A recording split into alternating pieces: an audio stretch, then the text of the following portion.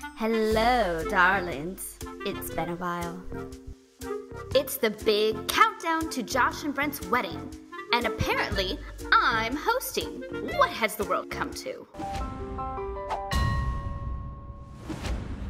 While Josh horses around, Brent gets a surprise visitor. Hey, Josh.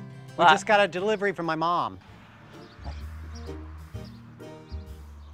what is that? This is one of my childhood best friends. That explains a lot.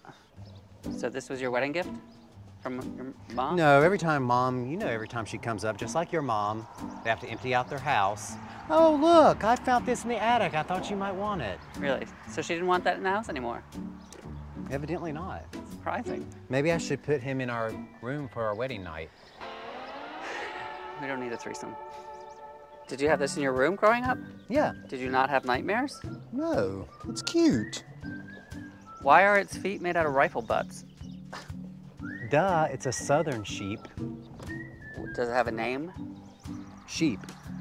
Seriously, sheep was its name. Mhm. That was the best you could come up with. Mhm. I've always been very literal. That explains my name. Maybe, maybe you can still write it. I never wrote it. Well, try. You try. You try. You It's your sheep. You try. It's not my sheep. Do you think it'll hold me? I don't want its rifle feet to shoot me. in the It's a very practical piece of furniture. Time to get back to preparing for the wedding. Come on, let's go.